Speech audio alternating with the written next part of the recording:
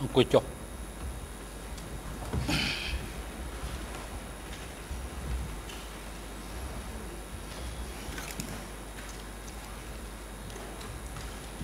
អង្គជំនាញប្រកាសបន្តកិច្ចដំណើរការនីតិវិធីសំណាការសួស្តីលោកស័ក្តិសិទ្ធិតើលោកបានត្រៀមខ្លួនរួចហើយឬនៅបាទរួចហើយលោកធាន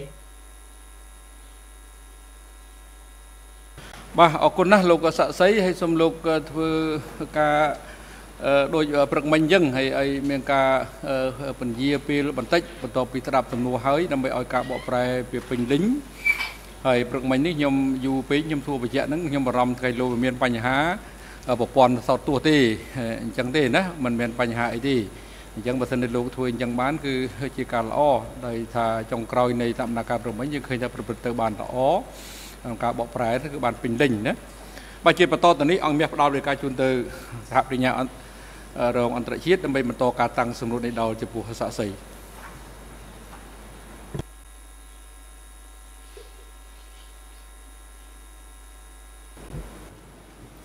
Merci Monsieur le Président et bon après-midi. Euh, juste pour euh, clarifier les choses vis-à-vis du témoin, je vais continuer à, à poser des questions cet après-midi.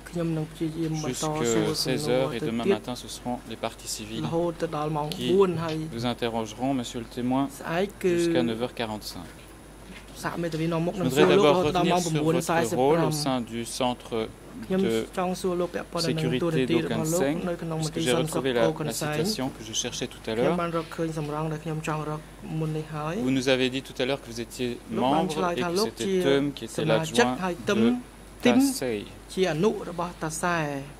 Dans un procès verbal E3 55 12, la question 4 vous est posée et elle est la suivante. Est-ce que vous pourriez décrire la structure du centre de sécurité de Okanseng Et vous avez répondu. Les cadres qui dirigeaient ce centre étaient au nombre de trois personnes. Le nommé Sei, qui était le directeur du centre et qui était en charge de la direction générale. Ensuite, il y avait moi-même, qui était le directeur adjoint et qui était en charge des interrogatoires et des archives des prisonniers.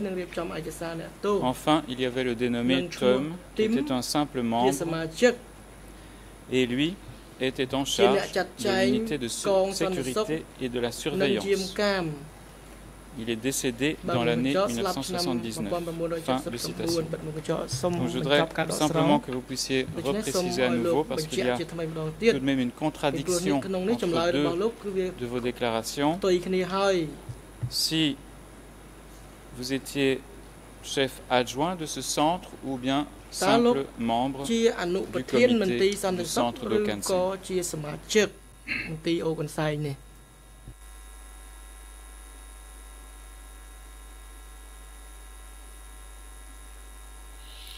ទូនីតិខ្ញុំពិតនៅក្នុងមន្ទីរសន្តិសុខអូកសែននេះជាសមាជិក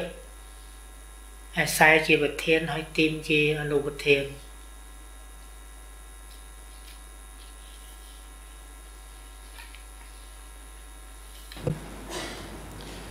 D'accord. Euh, au centre de sécurité de Kanseng, est-ce que Ta Sarun, le chef de la division 801, est euh, venu en visite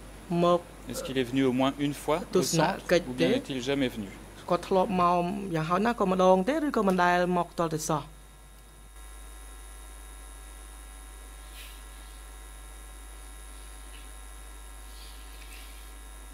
លោកតាសរឿនតាំងពីមានកើតមន្ទីរសន្តិសុខអូកសែងគាត់មិនដែលមកកន្លែងនឹងម្ដងទេ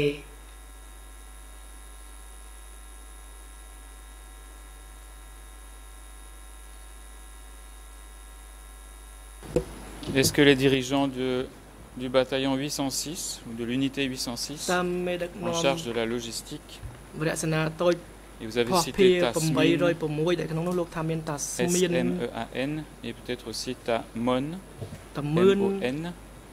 Est-ce que eux-mêmes venaient euh, au centre, notamment pour tenir des réunions sur place?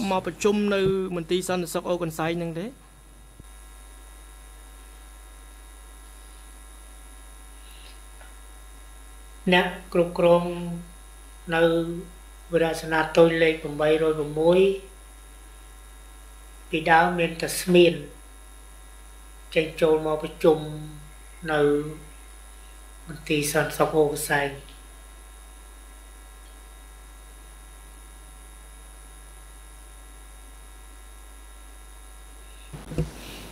Et en quoi consistaient ces réunions au centre de sécurité avec le, le personnel Sur quoi portaient ces réunions មន្ទីរសន្តិសុខហ្នឹងគេប្រជុំពីរឿងអីដែរ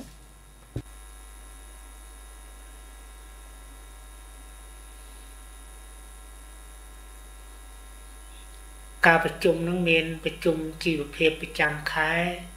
ហើយប្រជុំផ្ទៃក្នុងភាគច្រើនគឺប្រជុំផ្ទៃក្នុង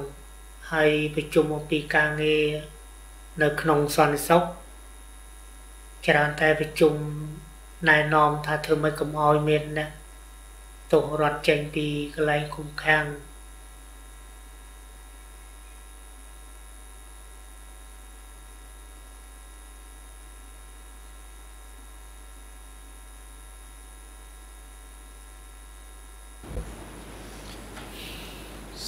Si, euh, au cas où un prisonnier s'évadait, je ne sais pas si c'est arrivé que des prisonniers s'évadent avec succès du centre. Mais vous ont-il dit, vous a-t-il dit si vous subiriez des sanctions មានការដាក់ទណ្ឌកម្មទេបើសិនមាន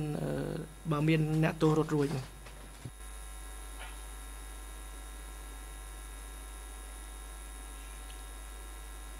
នៅមន្ទីរសន្តិសុខនេះខ្ញុំដឹងអ្នកទោសរដ្ឋនោះមានឈ្មោះម៉ៅហើយរត់ទៅទៅខាងលិចមន្ទីរនឹងទៅភូមិមួយហៅភូមិធួយហើយការចាប់មកវិញគឺប្រជាជននៅភូមិនឹងចាប់យកមកបកគលនៅមន្ទីរនឹងតែម្ដង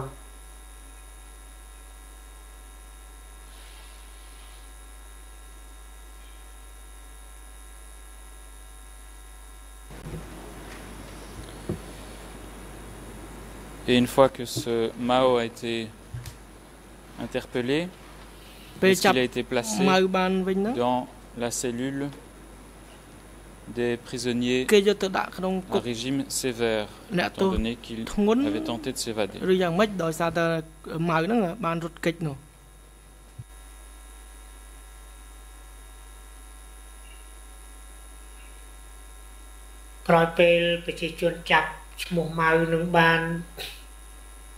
មោះម៉ៅនឹងបានមកបកគលឲ្យ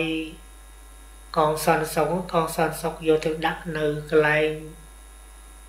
ផ្ទះជាមួយអ្នកដែលមានដាក់កងជើងដាក់ច្វាយនឹងដាក់ជាមួយគ្នានឹង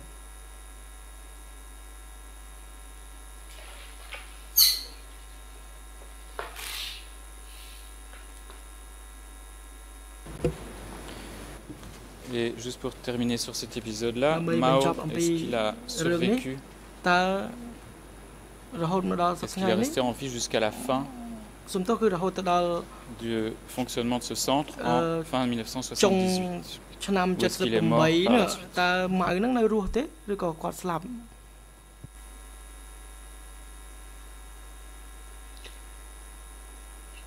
78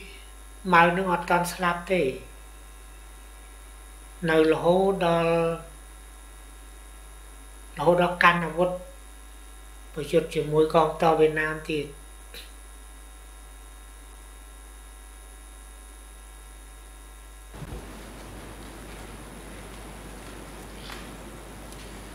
Vous avez parlé du fait que Tasmin venait au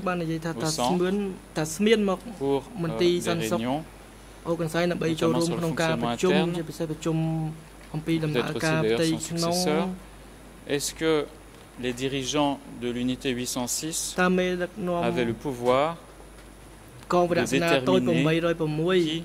មានសិទ្ធិអំណាចក្នុងការកំណត់ថាតើអ្នកណាត្រូវសម្រាប់ចោលនៅមន្ទីរសន្តិសុខអូកាំងសៃនៅឬទេ Ce type de décision ឬក៏ការសម្រេចបែបនេះ à Ta Saron ត្រូវធ្វើឡើងដោយតាសរឿនតែប៉ុណ្ណោះ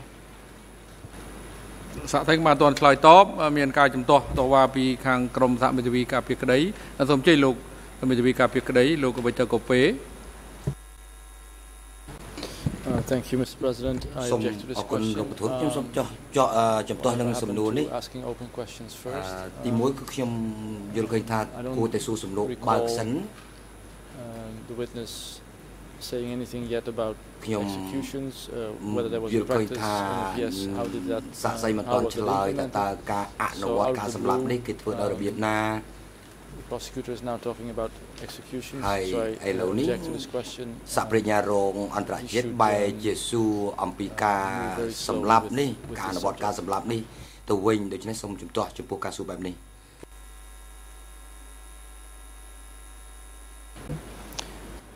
Monsieur le Président, je vais y revenir plus tard. Ce sera plus simple que de procéder par étapes à ce stade-ci. Plus simplement, Monsieur le témoin, est-ce que il vous est arrivé de vous rendre chez Ta Saron alors que vous étiez affecté au centre de sécurité d'Okanseng Et si oui, est-ce que vous y êtes rendu tout seul ou bien avec តាស័យឬក៏មានតាសែទៅជាមួយលោកដែរ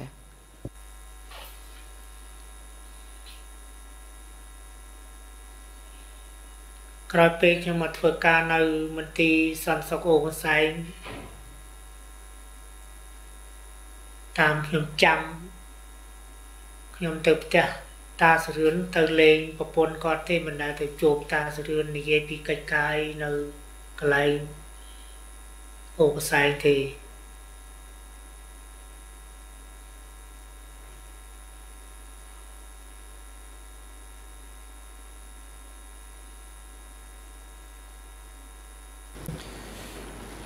Bon, sur ce point, je voudrais lire deux extraits de vos procès-verbaux. Le premier, c'est E3 bar 56 07. C'est la réponse 8. E3 bar 5607. Vous avez dit ceci. Je cite, un jour, quand je suis venu rendre visite à mon épouse à Versailles, So Saron m'a dit en personne que quelqu'un de Phnom Penh allait travailler dans mon unité à. À cette époque, mon centre avait été déplacé de Banlung à Okansen. Fin de citation. Et je vais lire directement la deuxième également. C'est dans le procès verbal E3 5, 1 2 Question-réponse numéro 11. Et vous parlez d'un certain nombre de Djarai qui avaient été arrêtés et emprisonnés au centre de sécurité. Et vous dites ceci, je cite. Les...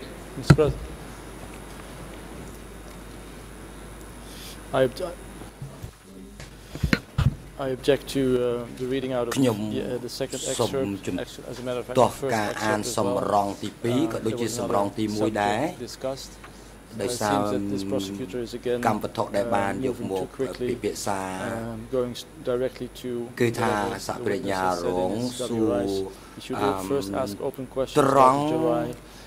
ពាក់ព័ន្ធទៅនឹងជនជាតិចរាយទី1គឺសួរសំណួរបើកពាក់ព័ន្ធទៅនឹងជនជាតិចរាយនេះសិនអឺមិនត្រូវអានសម្រងនេះហើយសួរចំចំណុចតែម្ដងចឹងទេ Monsieur le Président, j'ai posé une question ouverte concernant les réunions qu'aurait pu avoir le témoin avec Sausaron. Il a dit qu'il n'y en avait pas eu. Je lis deux extraits où il dit justement qu'il a rencontré Sausaron à l'époque. Je ne vais pas approfondir le sujet de Jarai maintenant, mais je veux simplement citer ce que le témoin a dit à propos d'une réunion avec Ta Saron.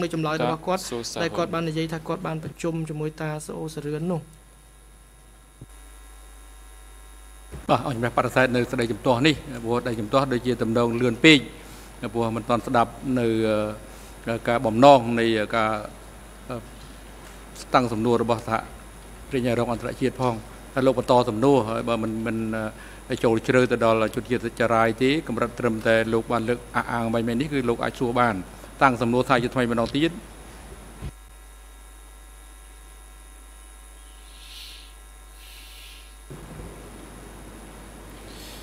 Merci, Monsieur le Président. Donc, l'extrait que j'allais lire à la réponse 11 du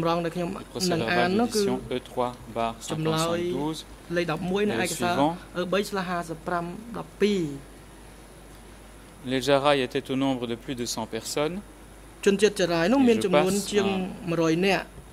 មិញក៏ចុះមិញថាលោកថាមិនដល់ទៅលោកជនជាតិចរាយទេឥឡូវមិនក៏ទៅអានជនជាតិចរាយទៅវិញ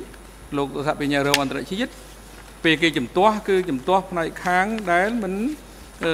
តន់សួរបើកពាក់ព័ន្ធជាមួយនឹងជនជាតិចរាយលោកថាសួរនឹងថាមានការប្រជុំជាមួយនឹងមុសតាសរឿនដែរឬទេសំណួរគាត់ទៅដែរប្រជុំជាមួយតាសរឿនឬអត់ទេហើយមកលោកអាននៅទៅជនជាតិចរាយហ្នឹងគឺដូចជាអានអង្គហេតុប្រាប់អង្គហេតុនឹងមុនសក្ខីកម្មនឹងមុនរួចទៅហើយនាំមុខដល់សាក់សីរួចទៅហើយ លោករៀបចំទំនួលរបស់លោកថាចិត្តឡើងវិញបើធ្វើដូច្នេះគឺមិនត្រឹមត្រូវទេវាខុសពីអ្វីដែលលោកឆ្លើយតប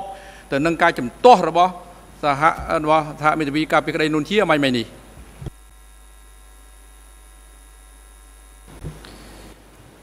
Eh bien alors je me contenterai de lire une seule phrase de cet extrait. លោកប្រធានខ្ញុំគ្រាន់តែចង់អាន pour démontrer ឃ្លាមួយតែប៉ុណ្ណោះដើម្បីបង្ហាញថាសាក់សីនោះគាត់បាននិយាយអំពីការប្រជុំមែនលោកសាក់សីលោកនិយាយថាពេលនោះ nous a demandé à moi et à Sey d'aller le voir.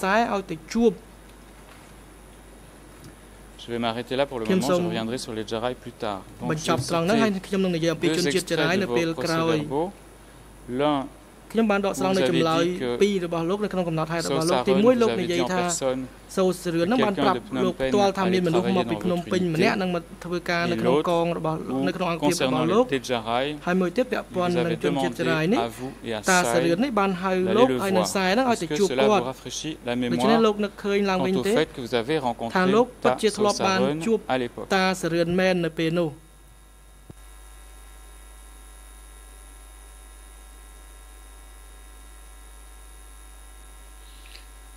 ន្លែងនេះខ្ញុំសូមបញ្ជាក់អំពីការជួបជាមួយតាសរឿនហើយគាត់ប្រាប់ថាមានមនុស្សមកពីភ្នំពេញនៅពេលខ្ញុំចេញពីផ្ទះគាត់ខ្ញុំទៅជួបប្រពន្ធគាត់លេងជាមួយប្រពន្ធគាត់នឹងហើយនិយាយស្ដីលេងជាមួយប្រពន្ធគាត់នឹងហើយខ្ញុំចេញមកជួបគាត់ជួបគាត់គាត់ថាតិចទៀតនឹងមាន អ្នកមកពីភ្នំពេញមកជួយការងារនៅកន្លែងហ្នឹង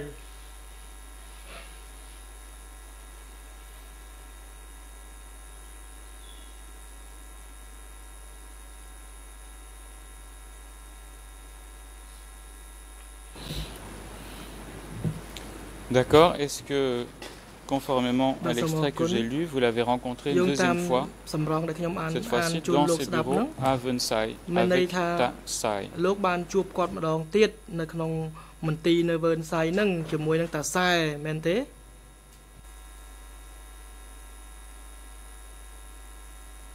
បាទត្រឹមត្រូវ Monsieur le témoin, à part le centre de sécurité de Okanseng, est-ce qu'il y avait dans votre région, dans la zone nord-est, d'autres centres de sécurité, qu'ils soient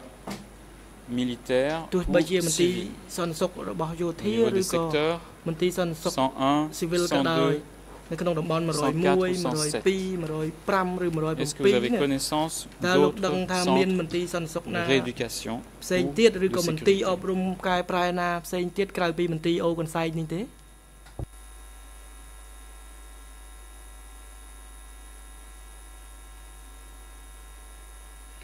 ខ្ញុំដឹង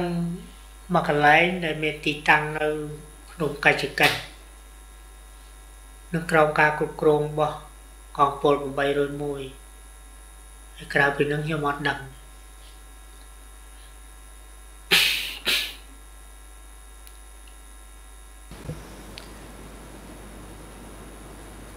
Est-ce Est-ce que ce centre était dirigé par Tavana En tout cas, c'est ce que vous aviez dit dans votre procès verbal d'audition. Est-ce que vous confirmez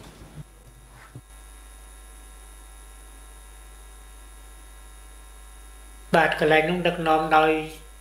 តាវណ្ណា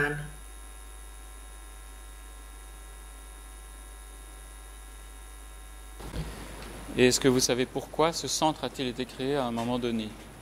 Et quel type de prisonniers il accueillait មន្ទីរសន្តិសុខហ្នឹងហើយមន្ទីរសន្តិសុខហ្នឹងដាក់អ្នកទោសប្រភេទណា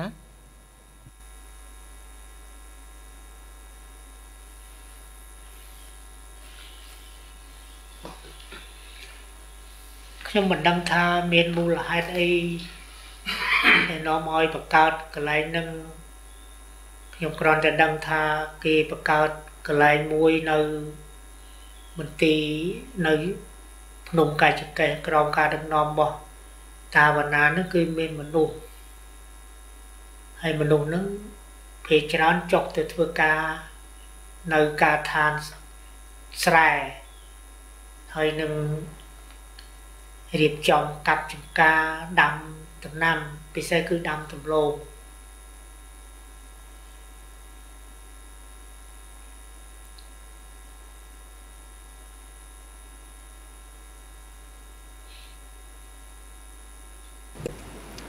អេស que des prisonniers du centre d'Okanseng qui dépendaient et aussi de la division 801ont été transférés vers ce centre dirigé par Tavana près de la montagne de Kachanke. Est-ce que c'est arrivé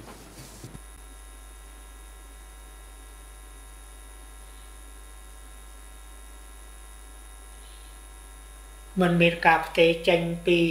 មនុស្សដែលនៅ ក្នុងមន្ទីរសន្តិសុខអូកសែងទៅកាន់ កន្លែងតាវណាទេ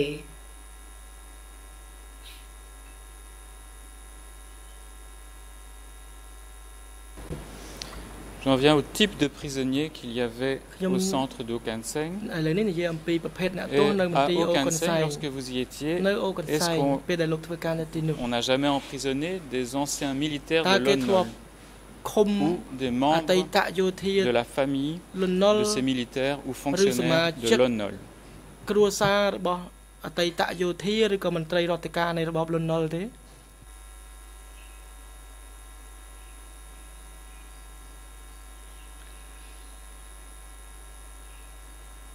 អ្នកដែលមកដល់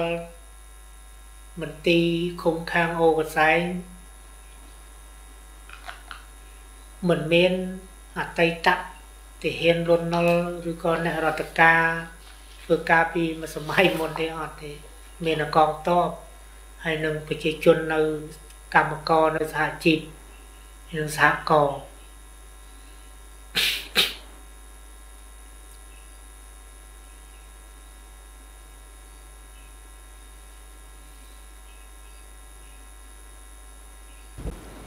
Et concernant les, les, militaires de la division 801 qui étaient emprisonnés au centre, quels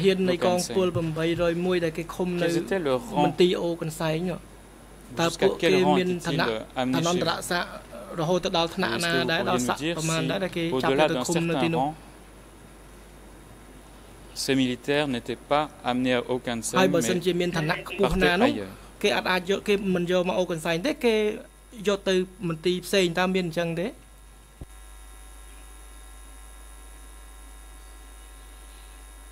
អ្នកដែលមកដល់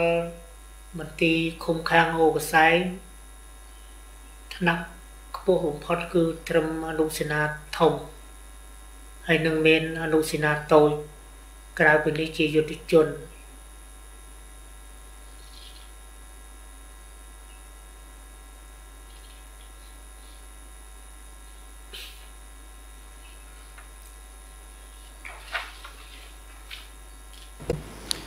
s'il y avait des gens qui avaient des rangs supérieurs à cela, savez-vous, et qui étaient arrêtés, savez-vous où ils étaient amenés ou transférés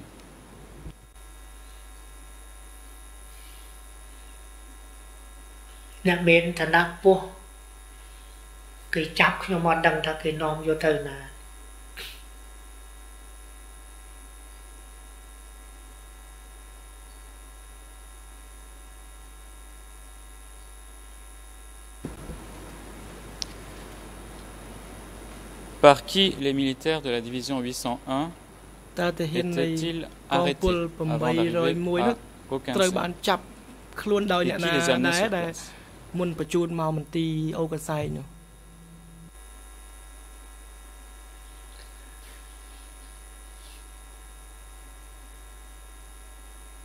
អ្នកដែលបញ្ជូនមក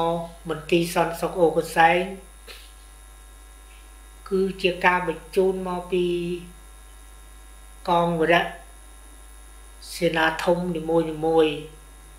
ដូចជាវរៈ82វរៈសេនាធំ83វរៈសេនាធំ81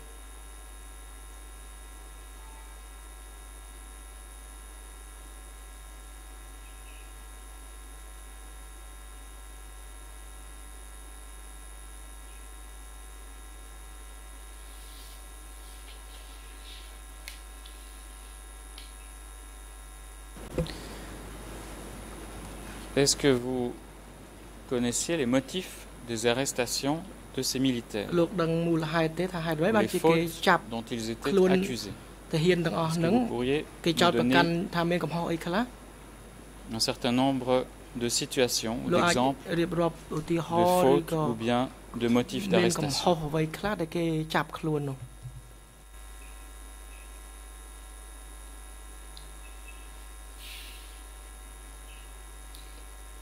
កាលខ្ញុំទៅនៅ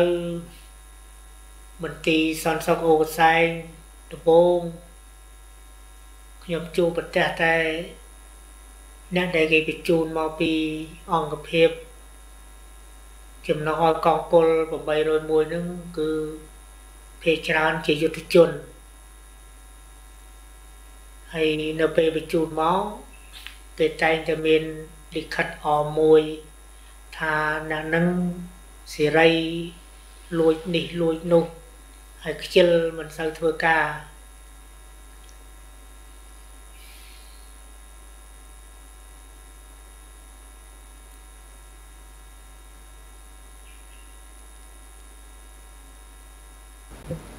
Est-ce qu'il y en avait certains qui avaient été accusés d'appartenir à une filière de traîtres ou d'être des opposants à la ligne du parti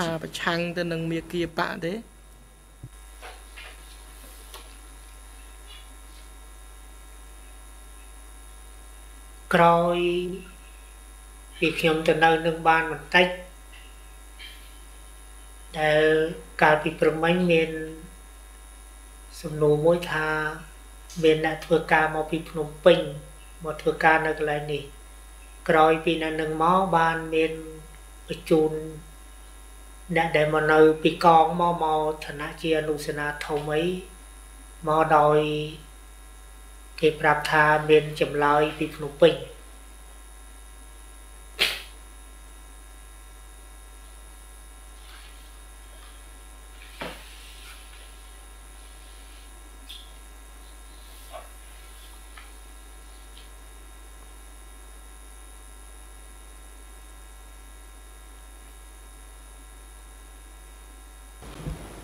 Je ne suis pas sûr d'avoir compris votre réponse. Parmi donc ces militaires de la division 801, est-ce que certains avaient été arrêtés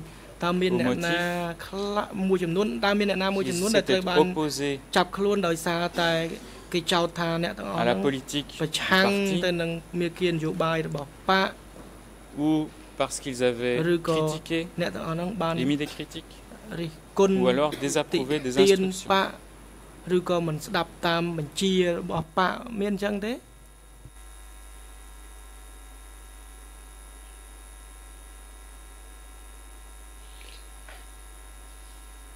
មិននិយាយថាជាទាហានចេញពីអង្គភាពគេបញ្ជូនមកដោយការចោទប្រកាន់ថាប្រឆាំង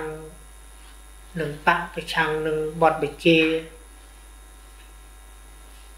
ដូចជានៅ ប្រជាជនមកពីសហជីពគេថាមិនសូវគោរពមេដឹកនាំនៅក្នុងកន្លែងធ្វើការសហជីពនឹងហើយទាហានគឺមានតែចម្លើយពាក់ព័ន្ធនឹងចម្លើយដែលមកពីភ្នំពេញគេចាប់បញ្ជូនមកនឹង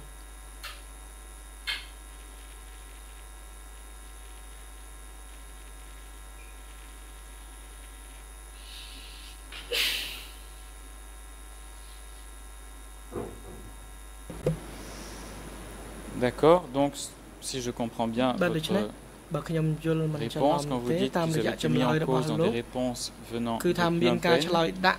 vous faites référence au fait que des gens arrêtés et emprisonnés à Phnom Penh les avaient dénoncés ou impliqués dans leurs aveux. Est-ce que j'ai bien compris ភូមិភាគឦសាននិងនៅក្នុងចម្លើយសារភាពរបស់ពួកគេអញ្ចឹងមែនទេ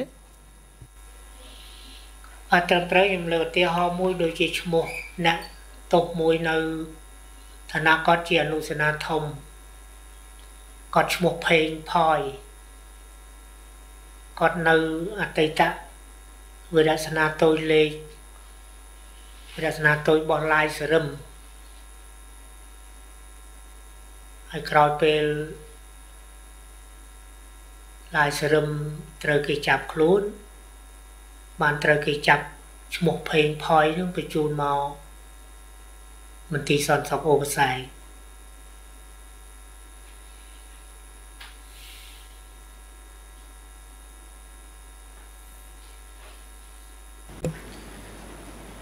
Est-ce que cette personne faisait partie de la filière de Sai Sarim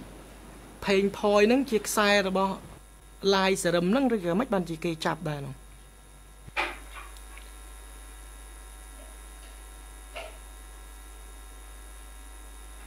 តាមការសាកសួរ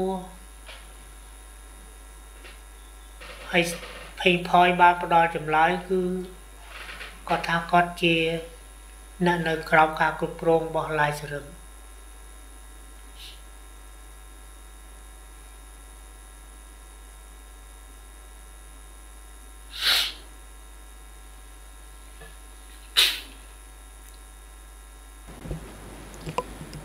Pour euh, clarifier tout à fait ce point, je voudrais lire ce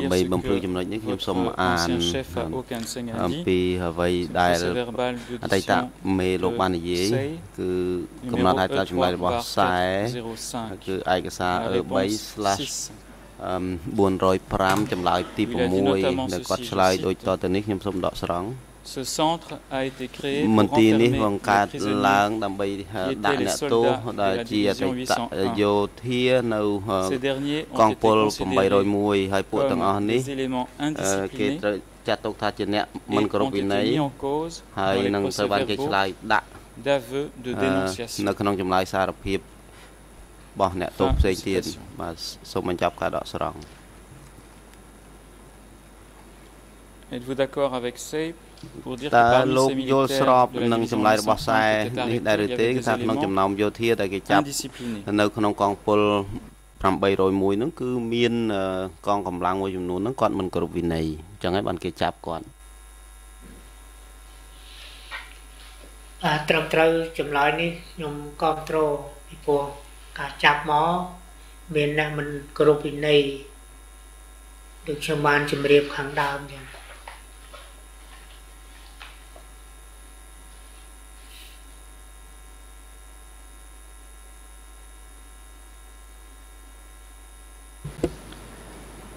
Et il a également dit donc que des militaires, des militaires avaient été mis en cause dans les procès-verbaux Est-ce que là aussi euh, vous êtes d'accord អញ្ចឹងលោកយល់ស្របជាមួយគាត់ទេឬក៏លោកមានមតិផ្ទុយពីហ្នឹងខ្ញុំយល់ស្របតាមមតិរបស់គាត់ថាមានការឆ្លើយដាក់ពីអ្នកផ្សេង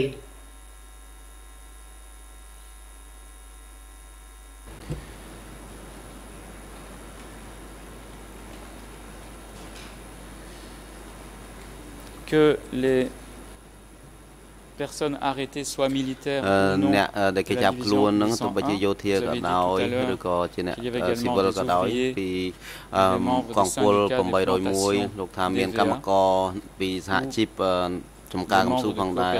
ហើយឬក៏ជាសមាជិកសហគមន៍ផ្សេងផ្សេងនោះតើក្នុងករណីទាំងអស់ហ្នឹងតើគេមាននីតិវិធីចុះឈ្មោះ អ្នកទោសដែលទៅនឹងចូលមកដល់មន្ទីរសន្តិសុខអូកន្សែងហ្នឹងទេមានបញ្ជីគេធ្វើបញ្ជីចុះឈ្មោះអ្នកទាំងអស់ហ្នឹងទេពេលមកដល់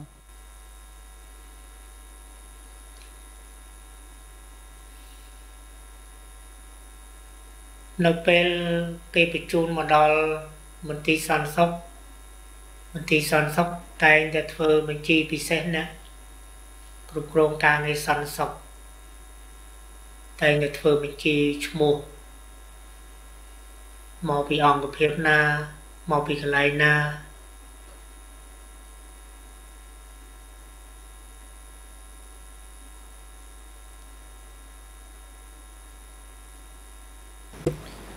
Est-ce que vous avez parlé tout à l'heure de lettres qui vous accompagnaient Est-ce qu'il y avait toujours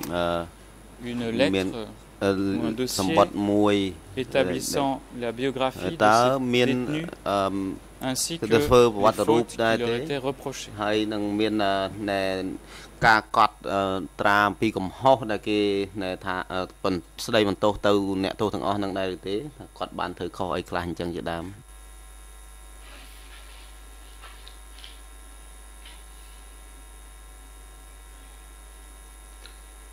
អ្នកដែលទៅសាកសួរនាំអ្នកដែលមកដល់ដំបូងនោះគឺមិន គាត់ទៅយកទៅព័ត៌មានអំពីប្រវត្តិគាត់នៅក្នុងក្រុមណា អង្គភាពណាជាអង្គភាពរបស់គាត់នឹងហើយគេអាចសួរនាំខ្លះអំពីហេតុអីបានគេចាប់បញ្ជូនមក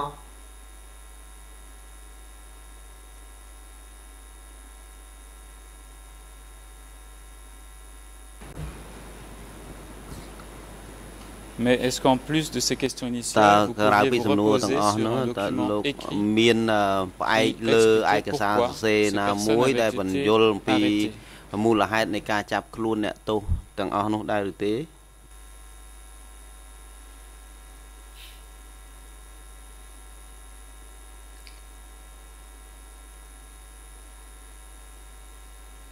ត្រង់ចំណុចនេះខ្ញុំមិនដែលមានផុសតាំងអីជាក់លាក់ នៅពេលដែលគេបញ្ជូនមកដល់មន្ទីរនេះទេពេលខ្លះក៏ទទួលបញ្ជីឈ្មោះឧទាហរណ៍ខ្ញុំថាឈ្មោះកអញ្ចឹងឋានៈជាយុទ្ធជនសកម្មភាពសេរីលួចហើយខ្ជិលហើយមួយទៀតឧទាហរណ៍មួយទៀតឧបមាឈ្មោះខសកម្មភាពប្រកបមិនគោរពការចាត់តាំងពុតបត់ នឹងមានកម្រិតប៉ុណ្ណឹង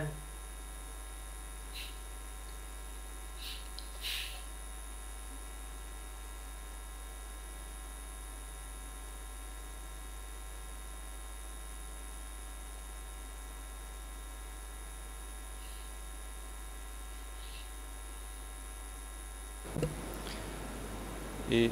dans ces documents est-il បាទនៅក្នុងឯកសារទាំងអស់ហ្នឹងតើមានដែលគេនិយាយអំពីយោធាជាពិសេសហ្នឹងដែលមកពីកងពល801គេចាប់ពួកគាត់ហ្នឹងដោយសារពួកគាត់ខ្សែវៀតណាមឬគ្រប់ត្រូលវៀតណាមឬក៏ជាប់ពាក់ព័ន្ធជាមួយនឹង CIA ឬក៏ KGB អីជាដើមមានករណីហ្នឹងទេ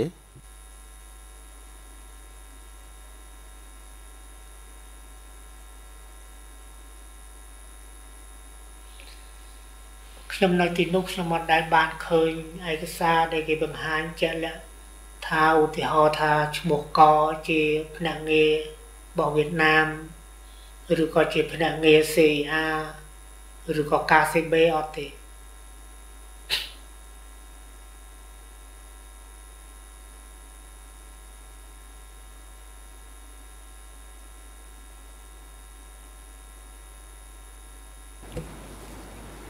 sous le régime du Kampuchea démocratique នៅក្រោមរបបកម្ពុជាប្រជាធិបតេយ្យតើអ្នកណា étant un ennemi ដែលគេចាត់ទុកថាជាខ្មាំងស៊ីរូងផ្ទៃក្នុង pouvait-on reconnaître តើគេដឹងថាអ្នកណាជាខ្មាំងស៊ីរូងផ្ទៃក្នុងនឹងតាមវិធីណាតើមានលក្ខណៈវិនិច្ឆ័យអីដែលអាចឲ្យយើងដឹងថាអ្នកណាបុគ្គលណាម្នាក់ជាខ្មាំងស៊ីរូងផ្ទៃក្នុងដែរឬទេ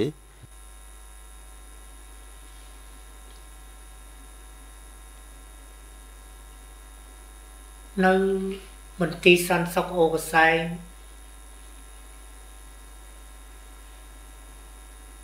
មិនបានវិភាគ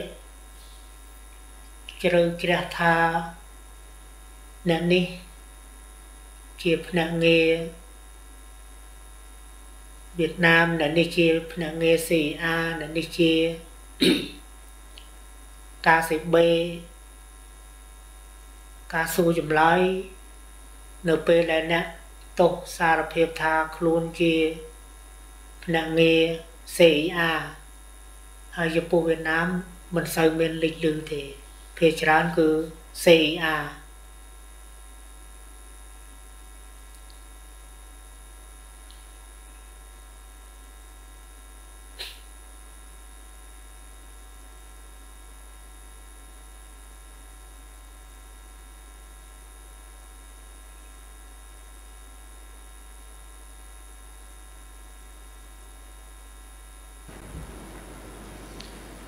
Merci.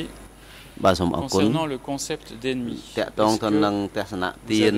ខ្មាំងនេះតើលោកធ្លាប់ឮឬក៏ធ្លាប់អានសេចក្តីណែនាំរបស់តាសូសរឿនដែរឬទេតកតងទៅនឹងអ្វីដែលត្រូវធ្វើជាអត្តភាព au sein de la division តកតងនឹងខ្មាំងដែលយើងត្រូវកំណត់អត្តសញ្ញាណនៅក្នុងកងពល801នេះ Vous vous souvenez d'instructions particulières តើលោកមាននៅចាំសេចក្តីណែនាំជាក់លាក់ណាមួយដែលពាក់ព័ន្ធនឹងអ្វីដែលត្រូវធ្វើចំពោះខ្មាំងដែលចាប់យកទៅដាក់នៅក្នុងមន្ទីរសន្តិសុខលោកនឹងហើយតែខ្មាំងនឹងចេញមកពីកងពល801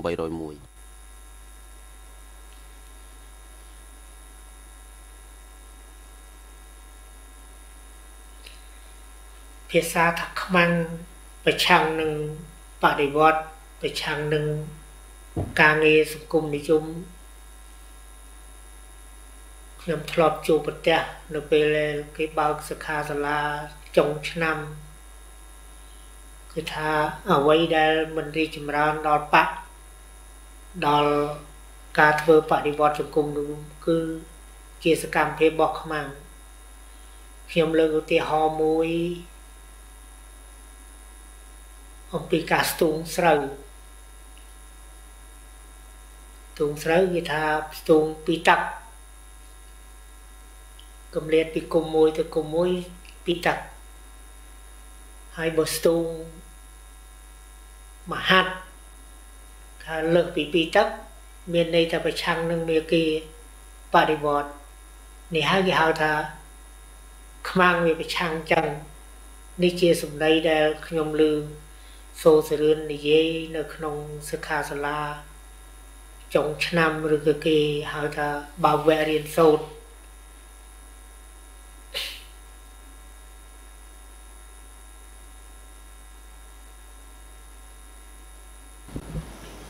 Et pourriez-vous nous dire quand avez-vous assisté à តើលោកចូលរួមក្នុងវគ្គនឹងដែលសូសវឿនគាត់ជាអ្នកដឹកនាំហ្នឹងធ្វើកាលហ្នឹងនៅពេលណាដែរលោកបានចូលរួមហ្នឹង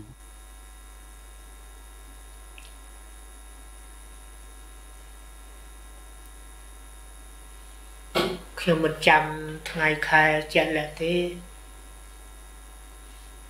ខ្ញុំគ្រាន់តែចាំបានថា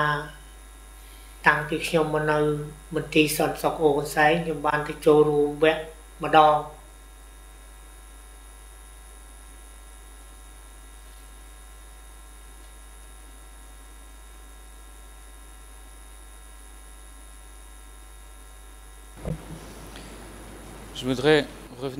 បែរខ្ញុំសូមត្រឡប់មកនិយាយពីរយៈពេលដែលលោកទទួលបន្ទុកខាង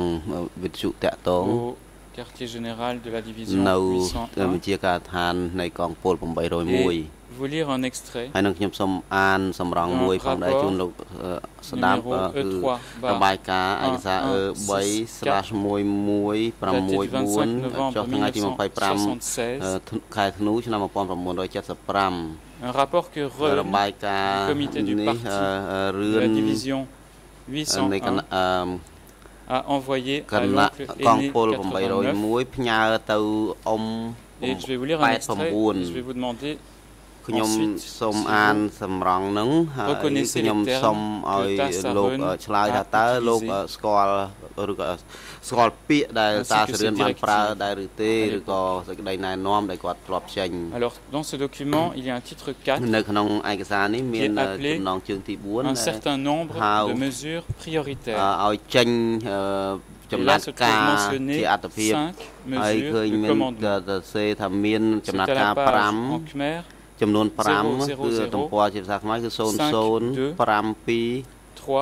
3 27ជាភាសាបារាំងគឺ00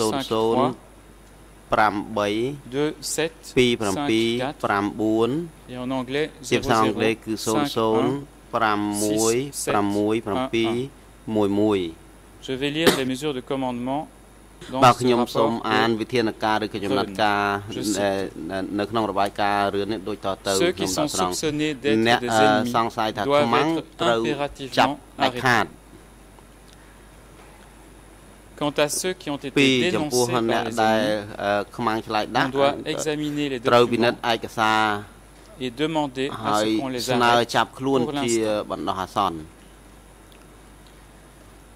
Numéro 3. Ceux qui se déplacent de façon indisciplinée, qui transgressent la discipline et qui, après la rééducation, ne se corrigent pas, on doit prendre des mesures à leur encontre en les mettant à côté pour les faire suivre à la trace. 4. Les cadres de compagnie et de section qui sont hypocrites et qui sont mous doivent être impérativement saqués. 5. Ceux qui sont impliqués dans les tendances politiques doivent être saqués les uns après les autres. Un peu plus loin, ceux qui sont bons doivent être laissés et ceux qui sont contre ou qui ne sont pas actifs doivent être saqués et mis en quarantaine.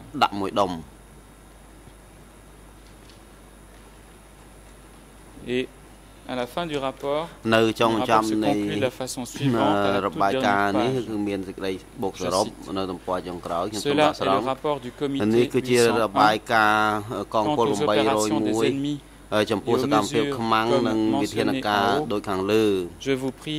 ស្នើសូមមានមតិនិង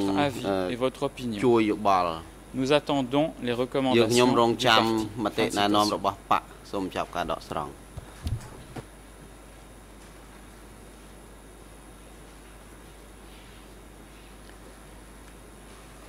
Alors, concernant ces mesures prioritaires de commandement qui ont été proposées par Reune à Sonsen dans le 89,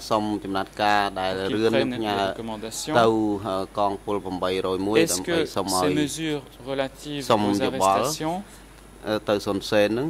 ont été envoyées à tous les cadres de la division 801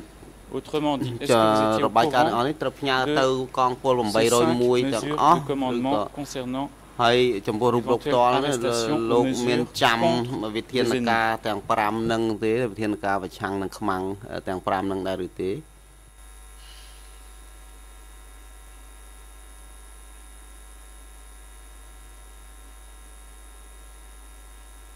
បាទសំណួរនេះខ្ញុំសូមឆ្លើយក្រោយពេលខ្ញុំមកធ្វើការនៅមន្ទីរសន្តិសុខអូកន្សែង កិច្ចការដែលមានការណែនាំ5ចំណុចហើយរាយការណ៍ទៅភ្នំពេញខ្ញុំអត់ដែលបានដឹងទេពួកក្រោយពេលដែលខ្ញុំមកទទួលការងារនៅអូកសែកិច្ចការទួលលេខអីខ្ញុំមិនបានដឹងទេ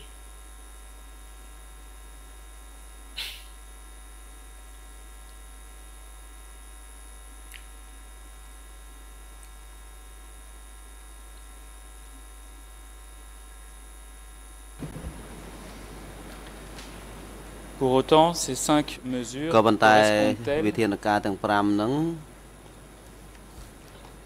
à ce que vous avez constaté à aucun seigne c'est-à-dire que les gens ស៊ីគ្នានឹងអ្វីដែលលោកបានសង្កេតឃើញនៅមន្ទីរអូកនសែងនឹងដែលអត់តកតងទៅនឹងអ្នកដែលគេសង្ស័យថាប្រឆាំងនឹងមេគាបកឬក៏មិនគោរពតាមគោលនយោបាយបក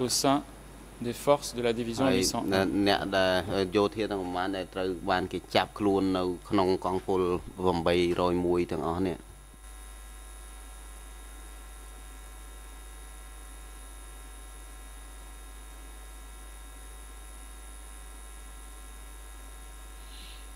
អ្នកដែលគេបញ្ជូនមកមន្ទីរសន្តិសុខអូនសែង មានអ្នកខ្លះក៏ស៊ីគ្នានៅចំណុចទាំង5ចំណុចដែលស៊ីគ្នាដូចជាអ្នកខ្ជិលច្អូសមិនសូវគោរពវិន័យហើយនឹងមានការឆ្លើយពីអ្នកផ្សេងឆ្លើយដាក់ពីអ្នកផ្សេងនេះគឺមានស៊ីគ្នាខ្លះនៅក្នុងចំណុចទាំង5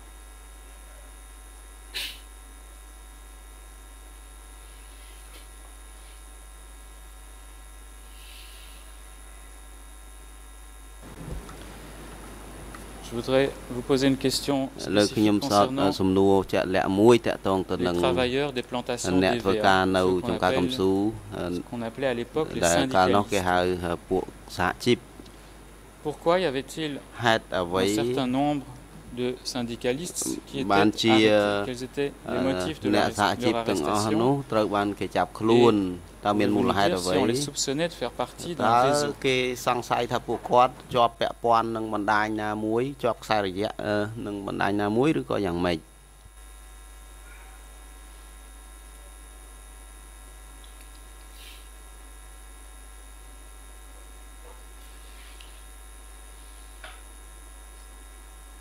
កម្មករសហជីពដែលត្រូវបានបញ្ជូនមកមន្ទីរសន្តិសុខអូកសែងនេះ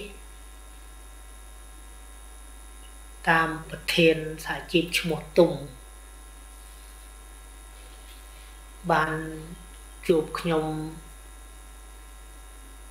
នៅមិនមែនជាកន្លែងខ្ញុំឬក៏មិនមែនជាកន្លែងគាត់ទេពេលហ្នឹងខ្ញុំដើរតាមផ្លូវទៅគាត់ត្រូវទៅបកកែវ ហើយជួបគាត់ថាពូនហ្នឹងជាសមាសភាពដែលធ្លាប់ធ្វើកម្មករពីមួយសម័យមុនពីព្រោះពីមុនមានចំការកស៊ូគ្រប់គ្រងដោយនៃតុនណាខ្ញុំអត់ដឹងទេប៉ុន្តែគាត់ប្រាប់ថាដែលដែលធ្លាប់ធ្វើកម្មករពីសង្គមចាស់ ពួកនៅមិនសូវជាគោរពតាមវិន័យរបស់អង្គការទេវាឃ្លានស្មាណាវាចេញទៅរននេះរននោះស៊ីតាមពើចិត្តវាហើយយើងអប់រំអត់ដែលធ្វើតាមយើងទេហើយសូមឲ្យខាងមិត្តនឹងសួរនាំពួកគាត់ទៀតទៅ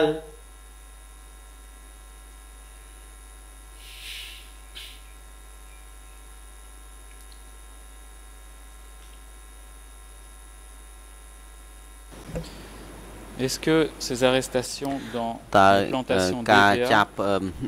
n'étaient pas de nature à affecter la production économique មិនប៉ះពាល់ដល់ផ្នែកសេដ្ឋកិច្ចទេឬគឺជាក់ស្ដែងគឺ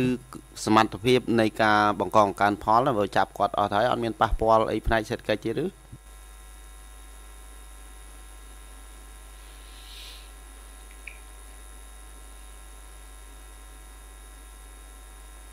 កន្លែងហ្នឹងខ្ញុំដូចអត់អាចបំភ្លឺបានថាវាប៉ះពាល់សេដ្ឋកិច្ចនៅក្នុងអង្គភាពសហជីពនឹងយ៉ាងម៉េចយ៉ាងម៉េចខ្ញុំមិនដឹងដែរ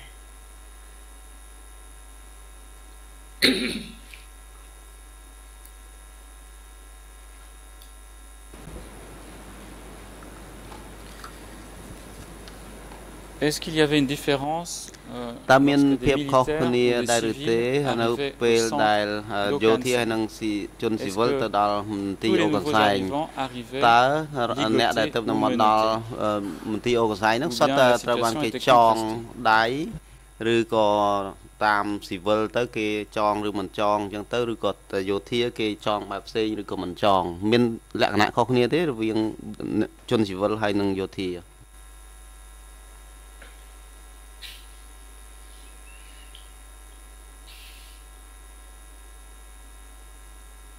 ការដែលខ្ញុំឃើញគេបញ្ជូនមនុស្សមកពីមូលដ្ឋានដូចជាសហជីព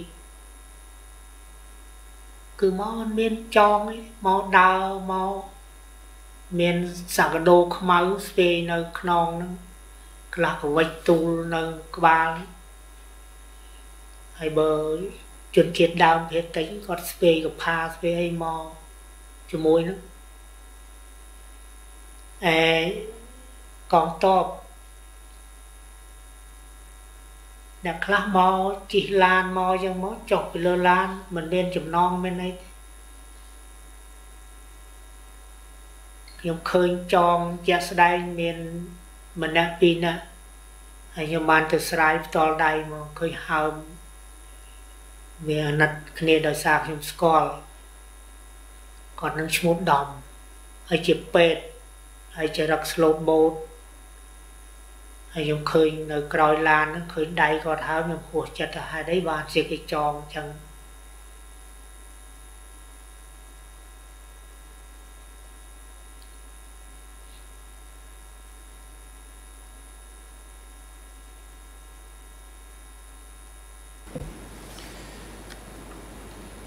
Une fois qu'ils étaient amenés à Okanseng, នៅពេលដែលពួកគេត្រូវបាននាំទៅអូកានសែង ils étaient placés dans des cellules et តើគេយកគាត់ពួកគាត់ទាំងអស់ទៅដាក់ក្នុងបន្ទប់ឬក៏គេយកទៅដាក់ខ្នោះ d'autres entraves ដាក់ខ្នោះជើងឬក៏ដែលគេឈើមួយដាក់ខ្នោះជើងឬក៏មានរបៀបឃុំឃាំងបែបផ្សេងទៀត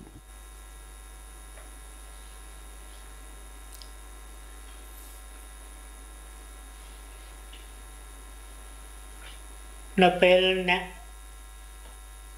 ដែលគេបញ្ជូនមកដល់មន្ទីរឃុំខាំងអូកសែងទៅដល់ភ្លាមអត់មានដាក់ខ្នោះឬដាក់ច្វាយទេលើកលែងតែគេបញ្ជូនមកដោយមានការប្រុងប្រយ័ត្នដូចជានៅលើឡានមាន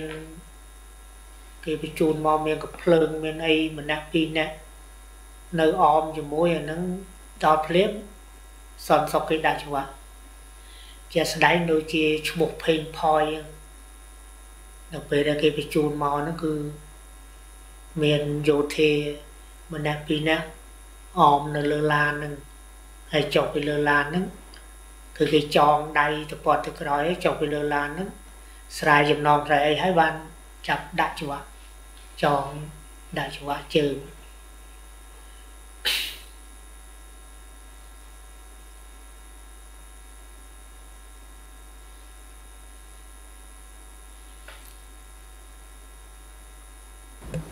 D'accord, mais pour que ce soit bien clair, moi je បាទ parle ដើម្បីឲ្យ du ច្បាស់ moment ទាំង où អស់ ils គ្នា entraient ខ្ញុំនិយាយអំពីពេលដែលគាត់ទៅដល់អាគារដែលគេទុកសម្រាប់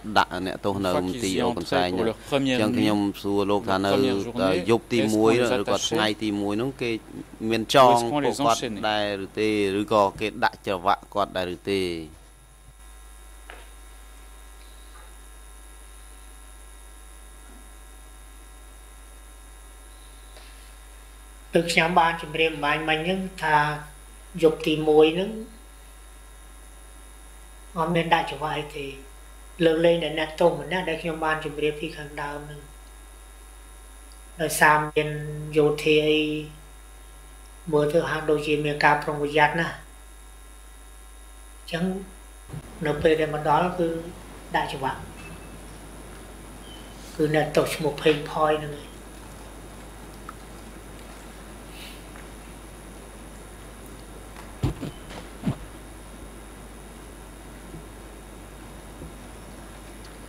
monsieur le témoin, nous n'avons pas entendu la fin de votre លោកសាក់សីខ្ញុំស្ដាប់ទៅចំ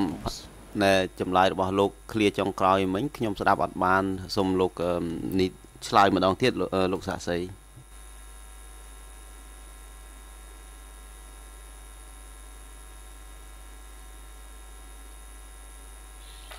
ខ្ញុំសូមបញ្ជាក់ឲ្យច្បាស់នៅពេលដែលគេបញ្ជូន មកពីសហជីពឬក៏បញ្ជូនមកពីអង្គភាពកងទ័ព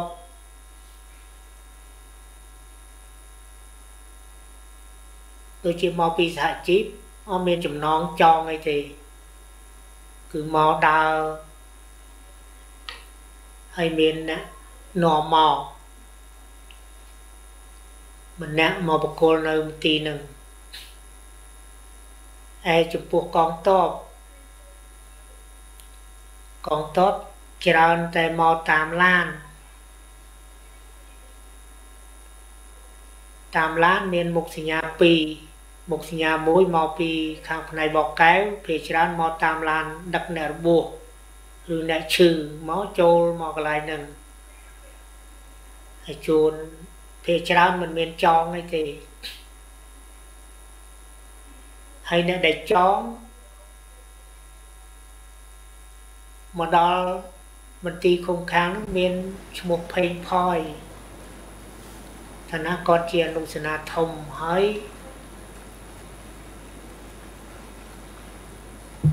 យប់ទី1គឺដាក់ច្បាប់គាត់ដោយសន្តិសុខគេឃើញថាមានការប្រុងប្រយ័ត្នពីកងយោធាដែលគេបញ្ជូនមកនឹងមានក ងយោធាម្នាក់ពីរនាក់ឈរពីក្រោយឡាននឹងហើយចុះពីលើឡានទៅចូលទៅក្នុងបន្ទប់ឃុំខាងនឹងគេដាក់ច្បាប់នេះខ្ញុំសូមបញ្ជាក់ជូនប៉ុណ្ណឹង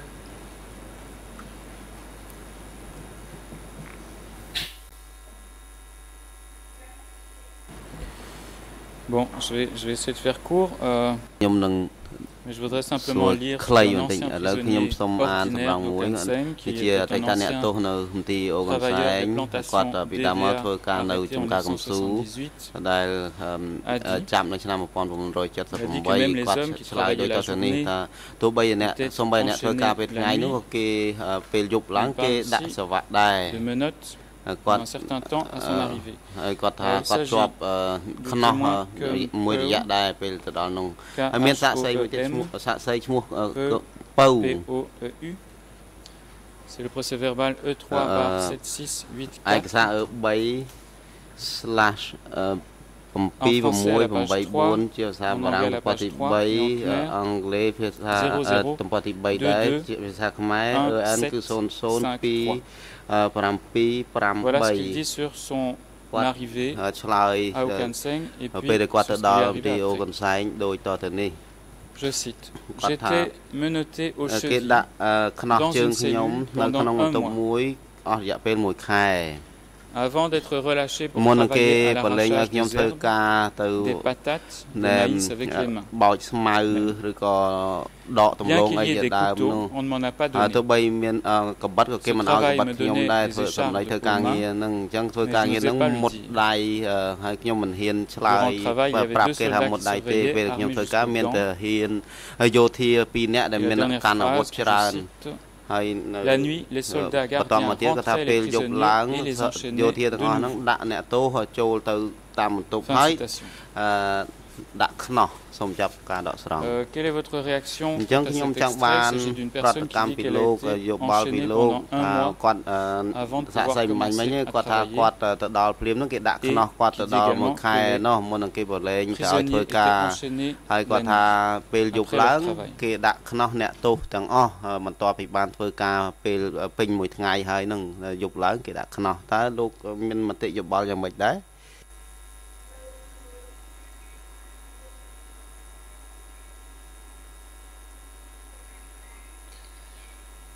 ចំពោះចម្លើយរបស់តពៅតពៅនេះខ្ញុំស្គាល់គឺសូឈ្មោះខ្ញុំចាំឈ្មោះគាត់ហើយគាត់ចេះជាងធ្វើជាងអាឈើអាអីនឹងគាត់ហើយខ្ញុំស្និទ្ធស្នាលមួយគាត់ណានៅពេលដែលគាត់ចេញពីកន្លែងដែលគេដាក់ច្បាប់គាត់ខ្ញុំយល់ស្របតាមការធ្វើសាសក្ខីកម្មរបស់គាត់ ថាមកដល់ដំបូងគេដាក់ខ្នោះជើងគាត់មែនប៉ុន្តែក្រោយមកសួរនាំគាត់ទៅដូចជាមិនមានអីដែលនាំឲ្យចាប់អារម្មណ៍ចំពោះអំពើព្រឹត្តរបស់គាត់ហើយក៏ឲ្យគាត់រស់នៅធម្មតាធ្វើការធម្មតាដូចគេដូចឯង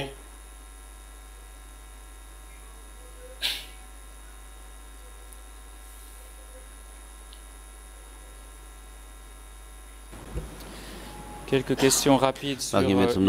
et les conditions de détention. Les constructions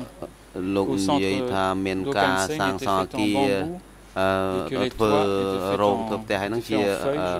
អំពីឫស្សីហើយប្រក់ស្លឹក Est-ce que les cellules étaient dès lors តើបន្ទប់ទាំងអស់ហ្នឹង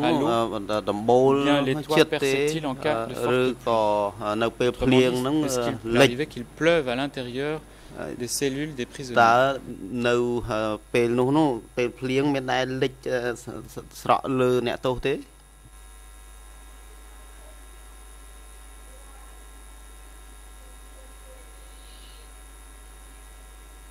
ដបូលកត់មុតចាំងចាំងអាស័យបន្តមិនជាកត់មុតចិត្តធ្វើឲ្យកម្ដៅហើយនឹង ធាតុអាកាសតិចឲ្យចូលមកទប់ទល់បានទេអញ្ចឹងអ្នកទោសដែលនៅក្នុងរោងនីមួយៗតែងតែដុតភ្លើងដុតភ្លើងនៅក្នុងរោងរបស់ខ្លួនហ្នឹងពីព្រោះគាត់ចេញទៅធ្វើការឡប់មកវិញគាត់លីអស់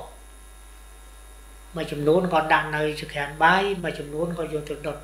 សម្រាប់កម្ដៅខ្លួន នៅពេលដែលគាត់តិចពេលយប់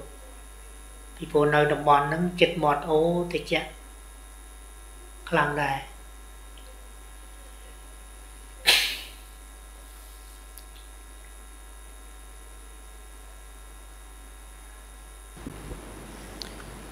Est-ce qu'il y avait des insectes à l'intérieur des cellules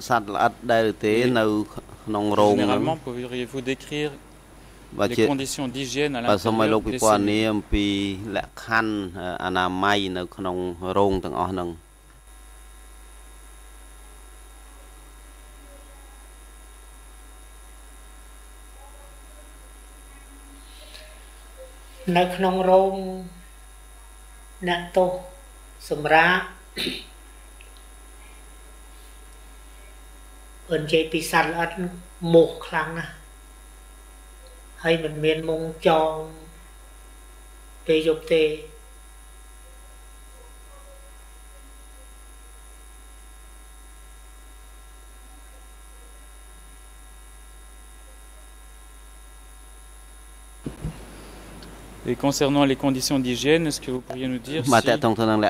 ម័យតើលោកជំ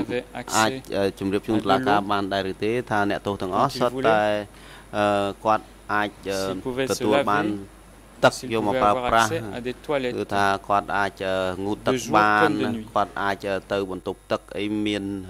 ទឹកប្រើប្រាស់ត្រឹមត្រូវពេលថ្ងៃក៏ដូចពេលយប់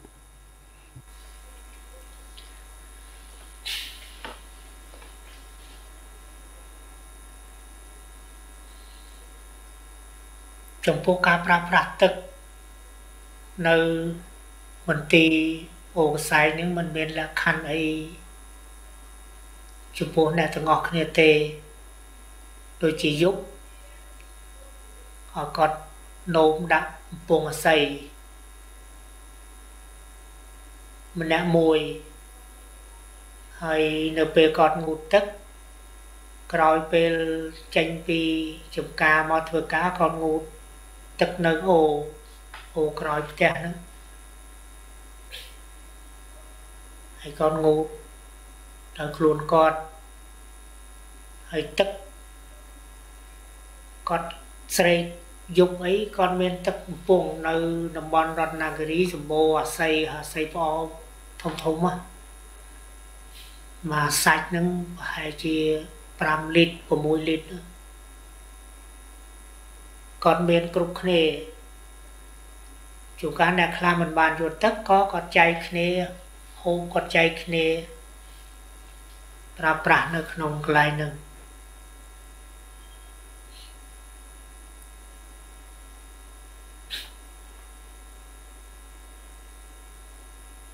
បាទឥឡូវនេះដល់ពេលសម្រាប់ឲ្យឱកាសសម្រាប់ចាប់ពីពីនេះទៅទៅរហូតដល់ម៉ោង3សូមអញ្ជើញចូលវិញដើម្បីបន្តកិច្ចដំណើរការសម្រាប់ការអរគុណលោកស័ក្តិសិទ្ធិហើយនឹងពីប្រឹក្សាស័ក្តិសិទ្ធិឥឡូវនេះដល់ពេលសម្រាប់ហើយឲ្យមានប្រកាសសម្រាប់ចាប់ពីពីនេះទៅទៅរហូតដល់ម៉ោង 3សូមអញ្ជើញចូលវិញដើម្បីបន្តកិច្ចដំណើរការសកម្មភាពដូច្នេះលោកសូមមានវត្តមាននៅកន្លែងផ្ដល់អក្ខីកម្មនៅឲ្យបានមុនម៉ោង3បន្តិចដើម្បីត្រៀមខ្លួនលោកសាក់សីយល់ទេបាទយល់លោកទេបាទឥឡូវនេះសម្រាប់ចុះសូមអញ្ជើញក្រកឈរ